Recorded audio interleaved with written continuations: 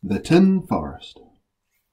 There was once a wide, wind-swept place, near nowhere and close to forgotten, that was filled with all the things that no one wanted. Right in the middle was a small house with small windows that looked out on other people's rubbish and the bad weather. In the house lived an old man. Every day he tried to tidy away the rubbish, sifting and sorting, burning and burying. And every night the old man dreamed. He dreamed he lived in a jungle full of wild forest animals. There were colourful birds, tropical trees, exotic flowers, toucans, tree frogs, and tigers. But when he awoke, his world outside was still the same. One day, something caught the old man's eye, and an idea planted itself in his head.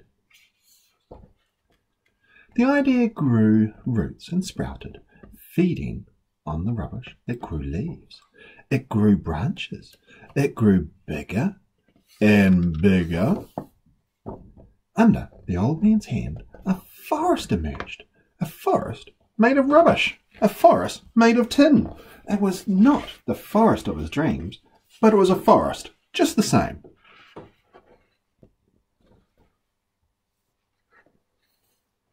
Then, one day, across the wind-swept plain, the wind swept a small bird. The old man spilled crumbs from his sandwich onto the ground. The bird ate the crumbs and perched to sing in the branches of the tin tree. But the next morning the visitor was gone. All day the old man walked through the silence, and his heart ached with emptiness. That night, by moonlight, he made a wish. In the morning, the old man woke to the sound of birdsong. The visitor had returned, and with him his mate. The birds dropped seeds from their beaks, and soon green shoots broke through the earth. Time passed. Soon the song of birds mingled with the buzzing of insects and the rustling of leaves. Small creatures appeared creeping amongst the jungle of trees. Wild animals slipped through the green shadows.